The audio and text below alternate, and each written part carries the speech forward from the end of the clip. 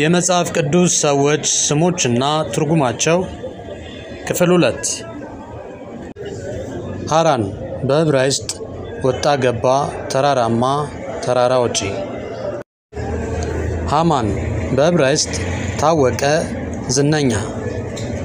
ሃና በዕብራይስጥ እግዚአብሔር ባርኳል፣ ሰጥቷል። ሃናን በዕብራይስጥ ቸር። ሃናንያ በዕብራይስጥ እግዚአብሔር ቸር ነው። ሃኖን በዕብራይስጥ ቸር። ሃጊ በዕብራይስጥ ደስተኛ፣ ድሎት።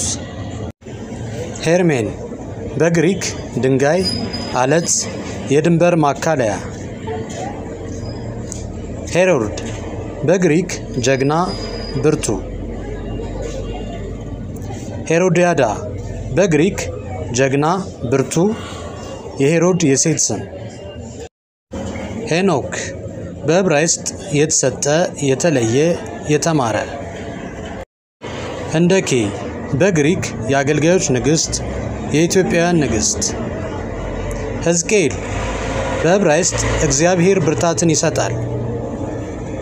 ሕዝቅያስ በዕብራይስጥ እግዚአብሔር ብርታትን ሰጥቷል፣ የእግዚአብሔር ኃይል። ሆሴ በዕብራይስጥ እርዳታ፣ መዳን። ሉቃስ በግሪክ የንጋት ልጅ፣ አጥቢያ፣ አድማስ። ሌዊ በዕብራይስጥ የተባበረ። ልድያ በግሪክ የልድዮስ ምድር፣ በሌሎች ትርጉሞች የልድያ ሴት። ሎይድ በግሪክ አስደሳች፣ መልካም፣ የተገባ።